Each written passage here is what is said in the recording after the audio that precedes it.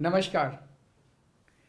दिल्ली नगर निगम में आम आदमी पार्टी की सरकार बनने के बाद एक के बाद एक अच्छे काम हो रहे हैं।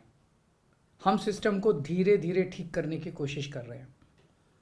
नगर निगम में अब सभी कर्मचारियों को तनख्वाह हर महीने वक्त पे मिलने लगी है।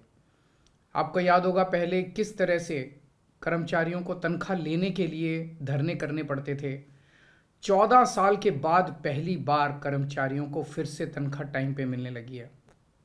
हमने छः हज़ार से ज़्यादा कच्चे सफ़ाई कर्मियों को पक्का किया है। आपके गली मोहल्ले में भी अब साफ़ सफ़ाई होने लगी है। हमारा मानना है कि जब कर्मचारी खुश होंगे तो वो मन लगा के जनता के लिए काम करेंगे।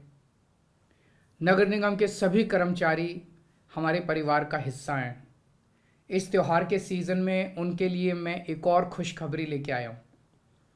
एमसीडी में आम आदमी पार्टी की सरकार ने फैसला किया है कि निगम के सभी ग्रुप डी ग्रुप सी और ग्रुप बी नॉन गजेटेड कर्मचारियों को सात हज़ार रुपये दिवाली बोनस के रूप में दिए जाएँगे।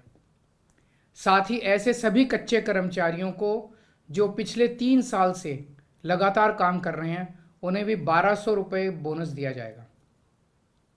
सफ़ाई कर्मचारी, चौकीदार, माली, बेलदार, वार्ड बॉय, वार्ड आया, कैटल कैचर, रिक्शा कैचर अर्दली एलडीसी, यूडीसी, इन सभी कर्मचारियों के परिवार भी हमारे परिवार का हिस्सा हैं।